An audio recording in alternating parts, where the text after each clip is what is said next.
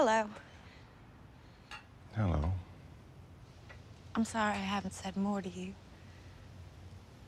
I guess I was afraid. Not of you. I just didn't know what to say exactly. I understand. But I'm glad you're here. Home. Thank you. I I'm glad too. Please take a seat if you'd like.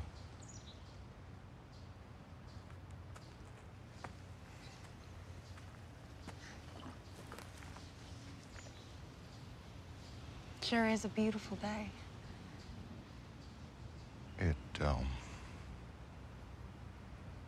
has lots of colors. Do you have like a, a favorite season, Daniel? A favorite season? Personally, I like the fall a lot. But I also, I love it when it rains on a hot summer day. Even though that's technically not a season. What is it that you love about rain on a hot summer's day? I don't know. Calms me down. Makes the plants happy. and the thunder. I love the thunder. It makes me think of God, but not in a bad way.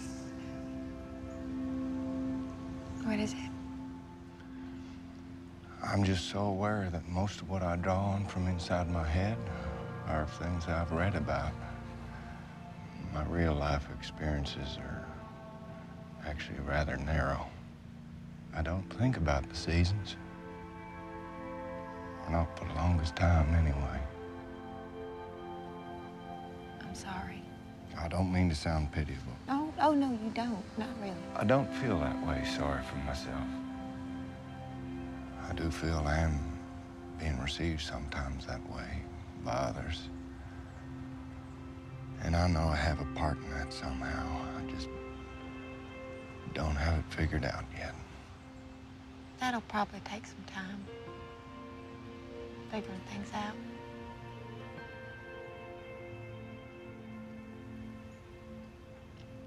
What is it? The place where I was had no windows. Just these thick walls surrounded by more thick walls. So I never knew if it was raining or even heard the loudest thunder. So sad.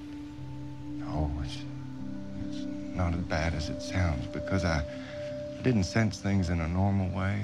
I didn't miss them. And if, if I couldn't sense them, I, I,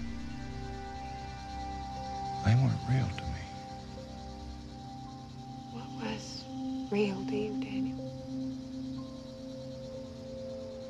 The time in between the seconds.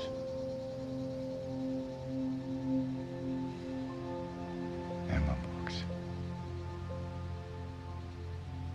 And my friend. Now that I'm here in this world, where everything's marked by hours or dates or events, find myself in a state of constant anticipation.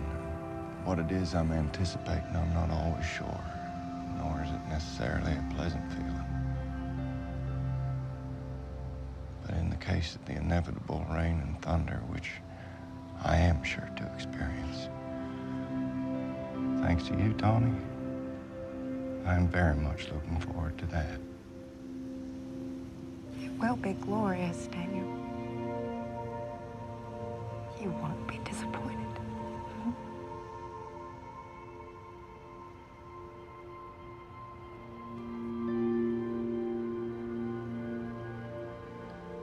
Daniel. We'll have more conversations. I look forward to that.